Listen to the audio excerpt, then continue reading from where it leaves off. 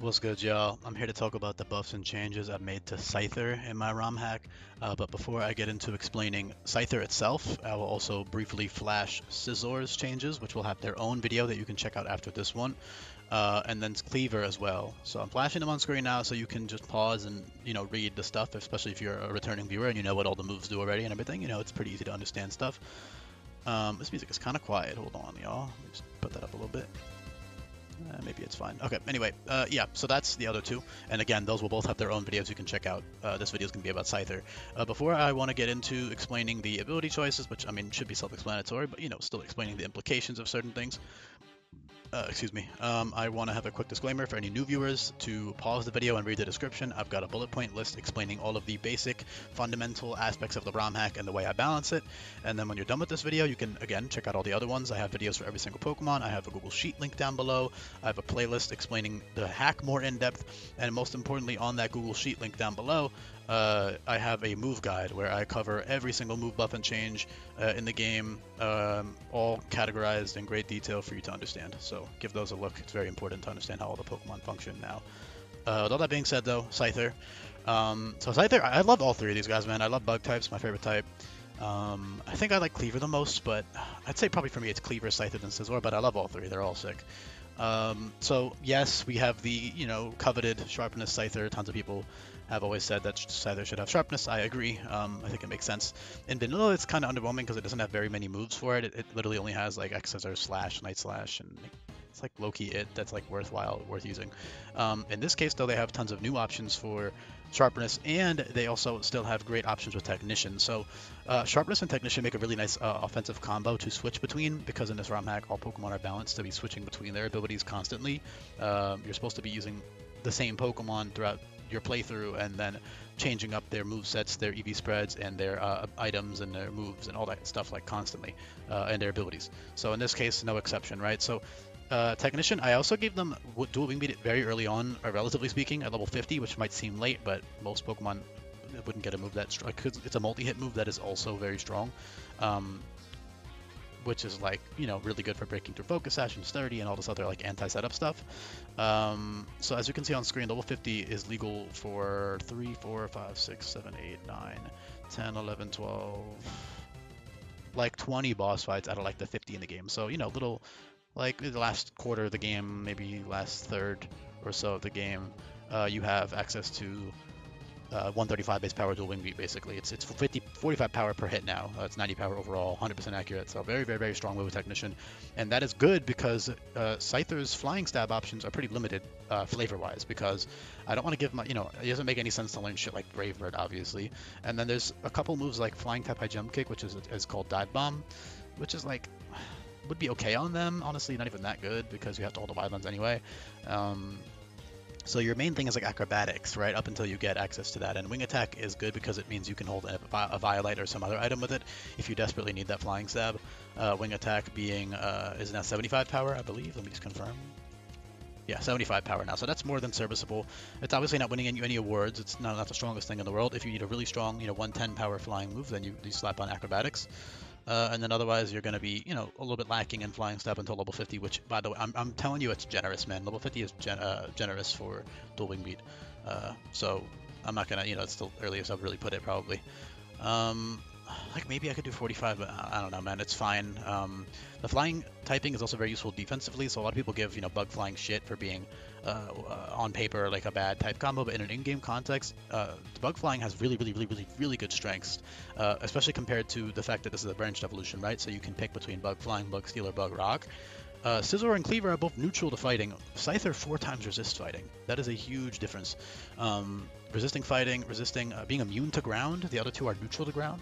Scyther's immune to ground. So two very, very common attacking types right there that you either four times resist or are immune to that the uh, other two options that you get from Scyther are neutral to, right? So it's definitely a big deal.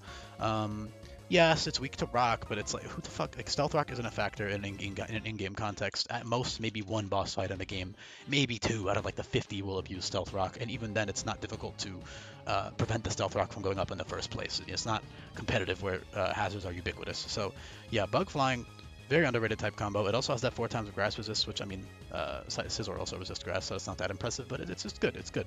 Good combo. Uh, gets a lot of ha- hate for no reason. It's actually a very underrated type combo defensively, um, and especially in an in-game context. And offensively, it's fine. I mean, he has tons of coverage anyway. Um, speaking of that coverage, so sharpness.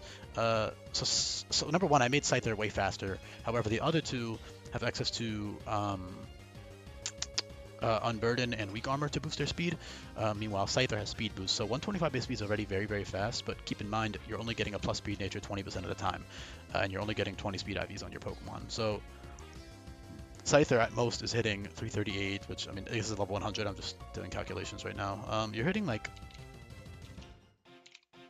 not even 105. You're only outspeeding base anything below base 105. You outspeed unless you get a lucky plus speed nature Scyther, then you're going crazy. Um, but if you don't get plus speed nature, you're only outspeeding base 104 and 105 and 104 and below, right? So if you want to be faster, you have to use priority, of which you have plenty of strong priority moves, or you have to use uh, choice scarf, which is good with technician and sharpness, or you have to use speed boost. So speed boost isn't as broken as you might think. It, it both is and isn't. So it's not broken in the regard that you can't get a free turn as easily anymore because protect is heavily uh, reworked uh, and limited. Um, if you're curious as to why that is, you can pause the video and read this. Um, scroll down a bit so you can read the second part. So yeah, um, that's the explanation for why Protect is the way uh, changed the way it is, or limited the way it is. So to get a speed boost, you can't even switch in, right? For example, stuff like Quick Feet, you have to switch. You can switch in once and then just get the speed uh, get the speed boost uh, on the turn you switch in because your orb triggers. That's not how speed boost works. Speed boost only works on a full turn of staying in. So you have to either one shot something or you know be a bulky roost type of set to, to rack up your speed boost. You know, or you can click like Swords Dance or whatever the hell you want. Um, and go from there. That's obviously an endgame move. You know, in the mid 50s, you get access to Swords Dance TM, but but you get the idea. Um, Speed Boost is especially overpowered with well, all three of its abilities are really good with finishing blow.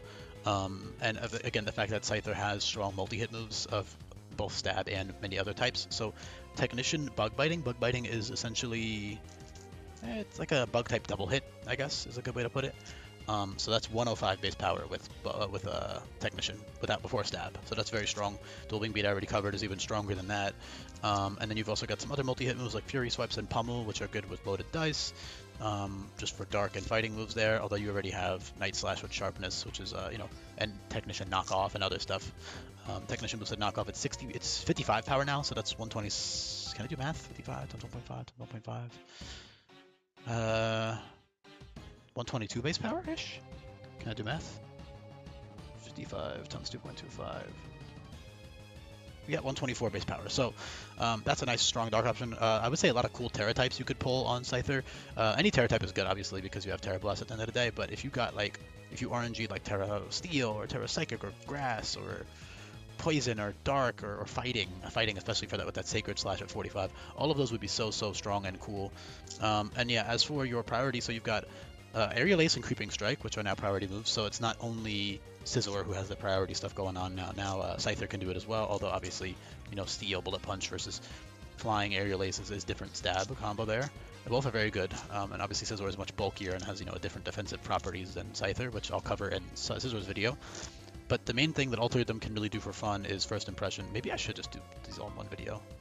Whatever, it's already too late. I don't feel like re-recording. I'll just, yeah. So yeah, uh, first impression, 135 power, very, very strong TM. You can slap it on whenever you need it. Um, X's are very strong. I kind of regret making it level up because it's going to open up the can of worms of making other TMs level up moves, which I typically don't do. But their level up move pool was already so empty anyways. And I was like, you know, fuck it, I may as well throw it on there. Even though it's, it's literally useless, right? Because the TM for X's uh, is obtained between level 31 and 36, so it's literally useless to have a level 35. I mean, I guess for that one game path where you don't get it till 36, it's technically useful, but yeah, it's just there for flavor. I, I kind of, I might even delete it after this video, I don't know, who cares. Um, doesn't matter, doesn't affect anything. Uh, very strong with Technician, uh, but yeah, sharpness boosted options is X Scissor, which is, so X Scissor, Laceration, Psycho Cut, Leaf Blade, uh, all of those require scope lens and are 120 power with sharpness, 180 base power if you hold scope lens. So you can just slap on a choice scarf and just click, you know, 120 power X's or no drawback, and then you have your coverage, uh, your steel, um, steel, psychic, grass, dark, and poison coverage. Uh, and then you've also got Sacred Slash, which is a guaranteed crit, um, so you don't even have to hold scope lens, but it is weaker uh, than Scope Lens, but you can hold a boosting item, so it isn't actually that much weaker. But you get the idea.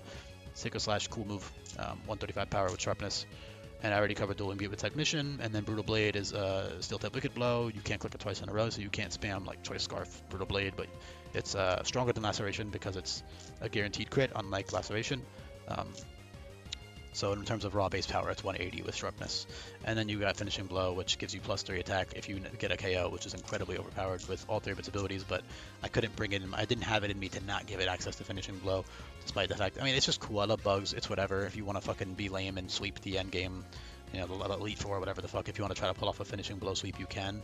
Uh, Scyther, at the very least, is still stopped by Quick Claw, but as I'll cover in the Scizor video, he actually gets to cheese Quick Claw, so yeah, uh, overall solid. I mean, it's tanky as well. You can run it defensively. You know, you've got Battle Cry and Roost and U-turn and Taunt and all this other utility stuff you can take advantage of. And 80-80 80 bulk might seem underwhelming, but when you factor in Eviolite and the fact that you can just invest in your bulk when you need defense, is it's actually really very tanky with Eviolite. So yeah, is really cool.